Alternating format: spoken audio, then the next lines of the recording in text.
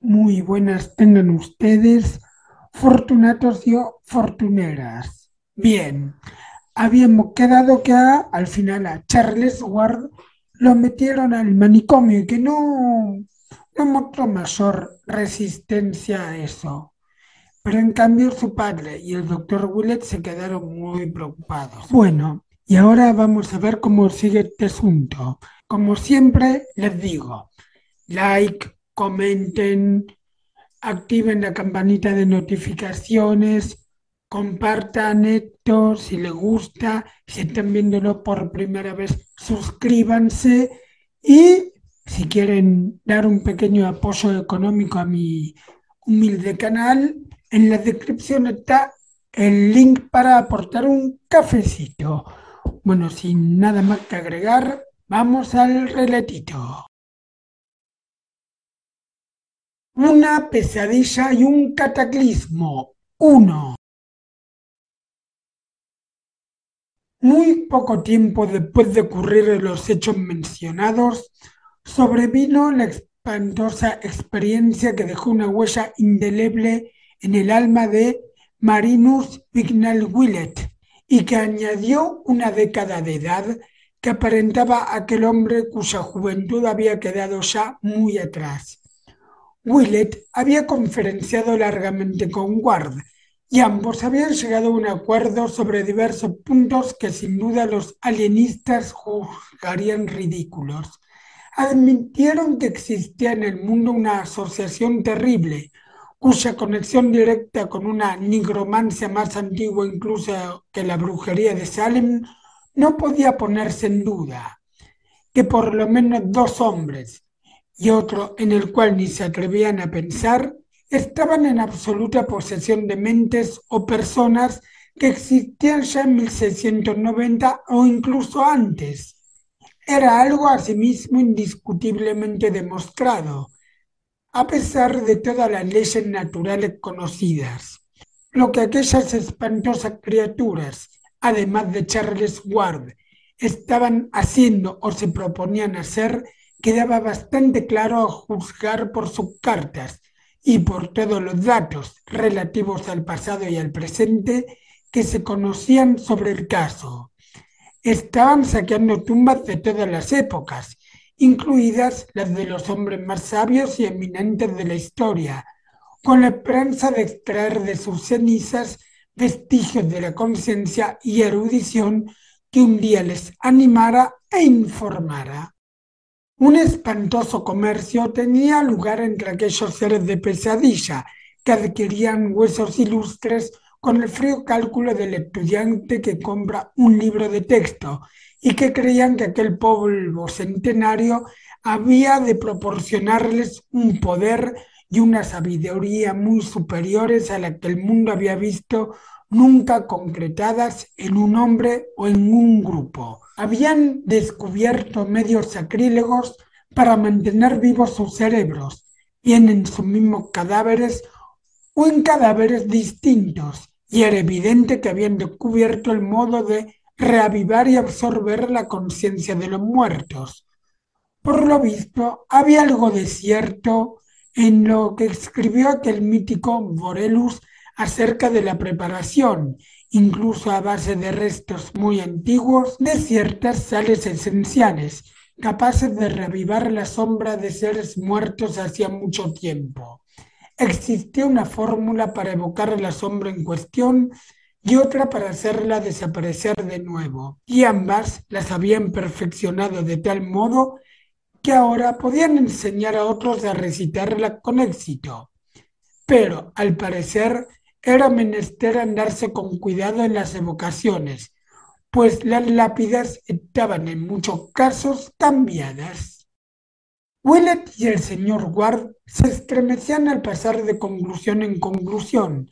Había métodos también, al parecer, para atraer presencias y voces de lugares desconocidos, lo mismo que de las tumbas, proceso sobre el que había que ejercer también mucha cautela Joseph Curben había evocado sin duda muchas cosas prohibidas.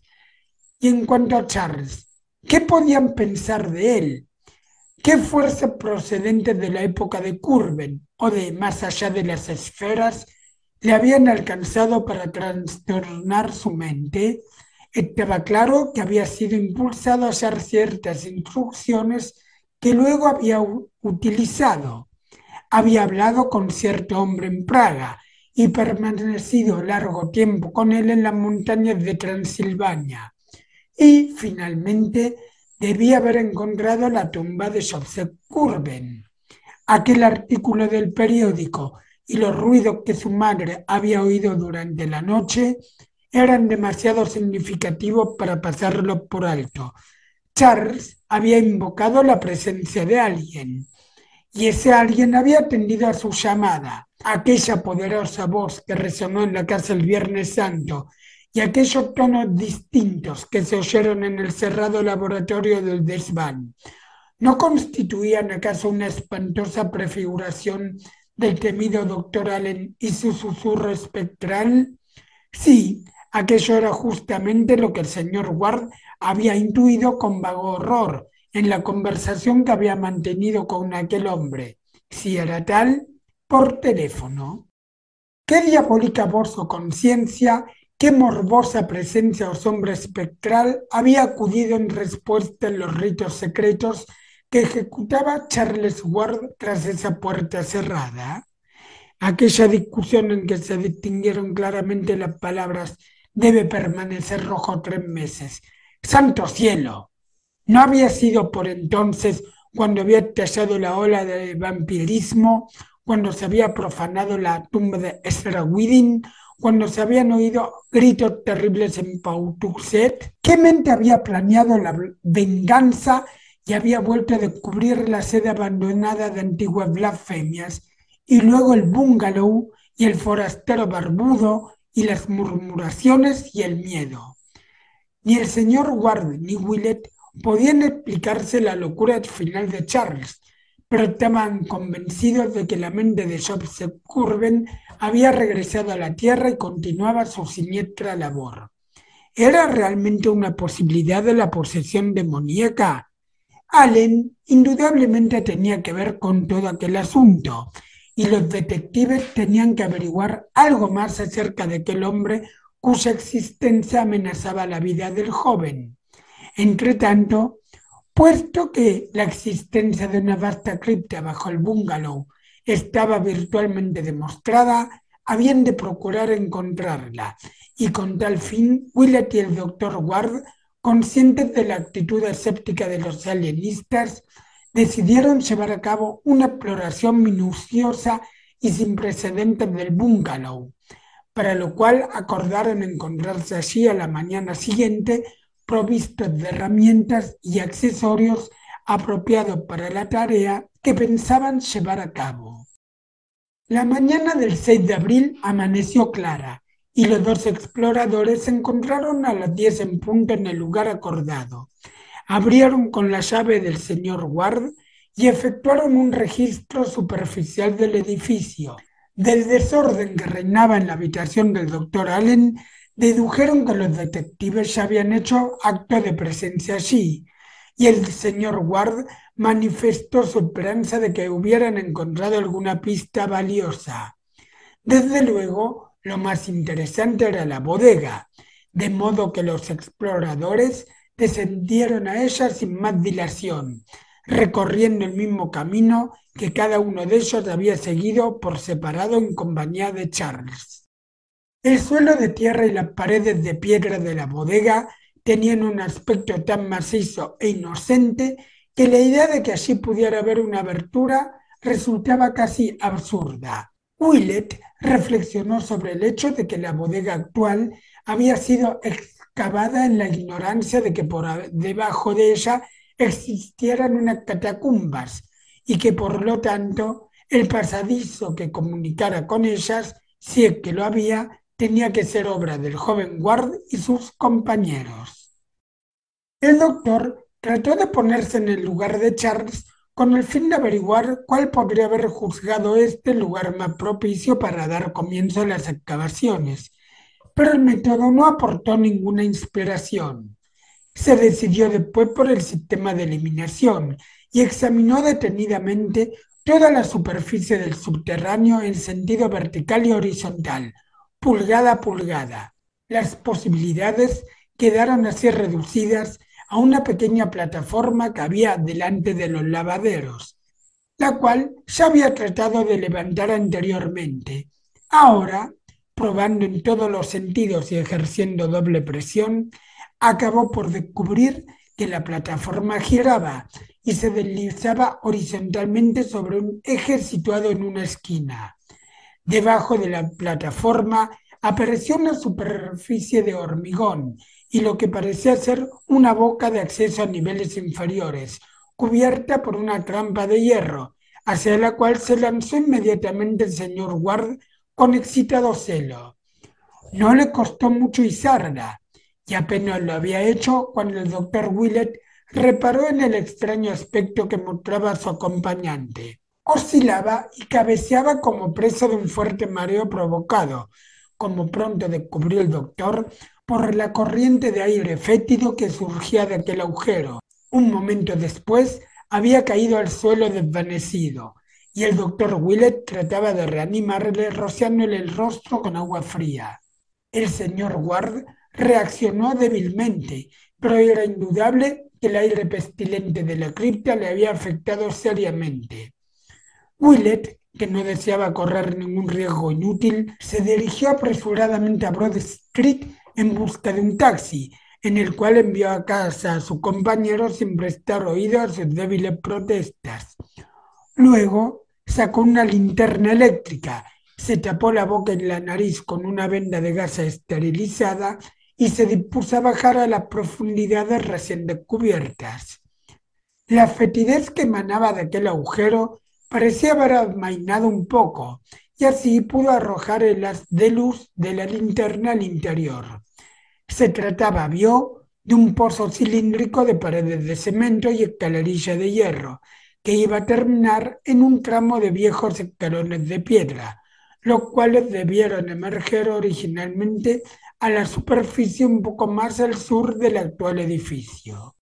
Willett admite francamente que, durante unos momentos, el recuerdo de lo que había oído acerca de Curven le impidió descender aquel maldito agujero. No pudo evitar pensar por unos segundos en lo que Luke Fenner había escrito sobre aquella monstruosa noche postrera. Luego, el sentido del deber se impuso a su miedo y bajó llevando una gran maleta en la que pensaba guardar los papeles que pudiera encontrar. Lentamente, como correspondía a un hombre de su edad, bajó las escalerillas de hierro y llegó a los resbaladizos peldaños del fondo. La linterna le reveló que la mampostería era muy antigua y sobre las paredes resumantes de humedad vio el insalubre musgo acumulado durante siglos. Los peldaños profundizaban en las entrañas de la tierra, no en espiral, sino entre brocogiros y entre tales angosturas que apenas había espacio en aquel pasadizo para dos hombres. Llevaba contados unos treinta escalones cuando llegó a sus oídos un leve sonido. A partir de ese momento ya no pudo contar más. Era un sonido impío, uno de esos insidiosos ultrajes de la naturaleza que no tienen razón de ser. Calificarlo de lamento opaco, de gemido de un condenado o de aullido desesperado que se aunaban la angustia y el dolor de una carne sin mente, no habría bastado para describir su calidad esencial de repugnante, ni para explicar el espanto que despertaba en el espíritu. Era aquello lo que Ward se había detenido a escuchar el día que se lo llevaron del bungalow. Era el sonido más impresionante que Willett había oído en su vida. Procedía de algún lugar indeterminado y siguió oyéndolo mientras llegaba al pie de la escalera y proyectaba la luz de su linterna sobre las paredes de un pasadizo cubierto de cúpulas ciclópeas y taladrado por numerosos arcos negros. El vestíbulo en el cual se hallaba ahora tenía unos 14 pies de altura y unos 10 o 12 de anchura. El pavimento era de losas toscamente talladas y las paredes y el techo de mampostería revocada. era imposible calcular su longitud, pues se prolongaba hacia adelante hundiéndose en la oscuridad. Algunos de los arcos tenían una puerta de tipo colonial, mientras que otros carecían de ella. Sobreponiéndose al miedo que despertaban en él la fetidez y los extraños gemidos, Willett comenzó a explorar aquellos arcos uno por uno, hallando tras ellos sendas estancias de regulares dimensiones y bóveda de piedra, estancias aparentemente dedicadas a los más extraños usos. La mayoría de ellas tenían chimeneas cuyo diseño habría podido ser objeto de un interesante estudio de ingeniería. Willett no había visto nunca instrumentos o atisbos de instrumentos como los que allí surgían a cada paso entre el polvo y las telarañas acumulados durante siglo y medio, en muchos casos evidentemente destrozados por los antiguos asaltantes de la granja. La mayoría de las estancias no parecía haber sido hollada por pies modernos y debía corresponder a las fases más primitivas de los experimentos de Joseph Curven. Finalmente llegó a una habitación más moderna, o al menos de reciente ocupación. Había en ella estufas de petróleo, estanterías de libros, mesas, sillas, armarios y un escritorio en el cual se amontonaban revistas y libros, tanto viejos como nuevos. Había en varios lugares candelabros y lámparas de aceite, y Willett, tras encontrar una caja de fósforos, encendió la que estaban preparadas para su uso. La luz reveló, sin lugar a dudas, que aquella estancia era nada menos que el estudio o biblioteca de Charles Ward. Buena parte de los libros y muebles que encontró allí el doctor procedían de la mansión de Prospect Street. La sensación de familiaridad que recibió fue tan intensa que casi olvidó el hedor y los extraños sonidos, los cuales eran allí menos intensos de lo que habían sido al pie de la escalera. Su primera tarea, tal como había proyectado, consistió en buscar y recoger todos los documentos que parecieran de vital importancia y de un modo especial lo que Charles había descubierto detrás del retrato de Joseph Curven en la casa de Olnicourt.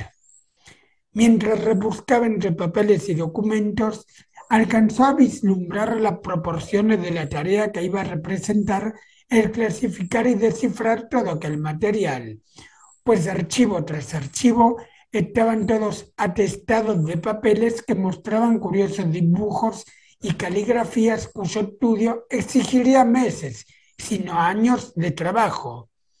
En un momento dado encontró varios paquetes de cartas con matasellos de Praga y de Racus y que mostraban la escritura característica de Horn y de Hutchinson, todo lo cual dejó a un lado para llevárselo con él después en la maleta. Al fin, en un secreto de caoba que en otros tiempos había adornado el hogar de los Ward, descubrió Willett los documentos de Curven, los cuales reconoció por habérselos mostrado Charles en una ocasión muy brevemente. El joven los había conservado juntos tal y como estaban cuando los encontró, pues allí estaban todos los títulos que recordaban los obreros que habían presenciado el hallazgo, exceptuando los documentos dirigidos a Horn y a Hutchinson y la clave para descifrarlos. Willett lo metió todo en la maleta y continuó la búsqueda. Dado que lo más importante era el estado actual del joven guarda, centró su investigación en el material más nuevo, y fue entonces cuando descubrió un hecho curioso, que los manuscritos más recientes de puño y letra de Charles se remontaban a dos meses antes, había en cambio resmas y resmas de hojas cubiertas de símbolos y fórmulas, notas históricas y comentarios filosóficos escritos con una caligrafía absolutamente idéntica a la que mostraban los antiguos escritos de Joseph Curven, aunque eran evidentemente modernas. Estaba claro que en fechas recientes Charles se había dedicado a imitar la caligrafía de su antepasado alcanzando en eso una maravillosa perfección. De una tercera mano, que podía haber sido la de Allen, no había el menor rastro. Si es que era el cerebro rector, debió obligar al joven a que actuara como amanuense suyo. Entre aquel material nuevo, una fórmula mística, o mejor dicho, un par de fórmulas, aparecían con tanta frecuencia que Willett se las sabía de memoria antes de dar por terminada su búsqueda. Consistían en dos columnas paralelas, la de la izquierda encabezada por el símbolo arcaico conocido con el nombre de cabeza de dragón y utilizada en almanaque para señalar el nodo ascendente, y precedida la de la derecha por el signo correspondiente a la cola de dragón o nodo descendente. De forma casi inconsciente, cayó en la cuenta el doctor de que los símbolos de la segunda columna eran los de la primera, pero escritos al revés, exceptuando los monosílabos finales y el extraño nombre de Shausotot, el cual había aprendido a distinguir del resto de las fórmulas relacionadas con aquel horrible asunto. ¿De qué eran estas exactamente las que aquí se reproducen? responde el doctor Willett, en cuya memoria despertó la primera un eco extrañamente desagradable que identificó después cuando recordó los acontecimientos del horrible Viernes Santo del año anterior. Con tanta frecuencia se repetían las fórmulas que sin darse cuenta el doctor comenzó a recitarlas en voz baja. Al fin creyó haber encontrado todos los documentos que por el momento necesitaba y decidió no examinar ninguno más hasta que pudiera traer a todos los escépticos alienistas en masa y llevar a cabo con ellos una investigación más amplia y sistemática. Tenía que encontrar aún el laboratorio oculto, de modo que, dejando su maleta en la estancia iluminada, volvió a internarse en el oscuro pasadizo en cuyas bóvedas seguían resonando sin cesar aquellos apagados y espantosos lamentos.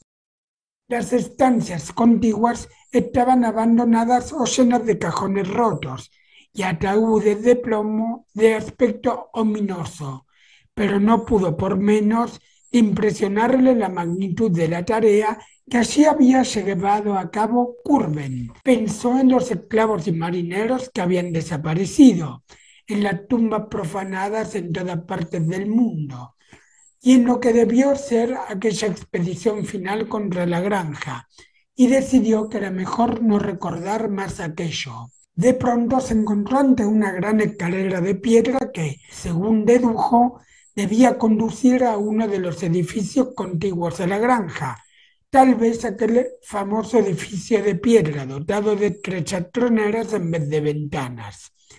La fetidez y los extraños lamentos aumentaron de intensidad.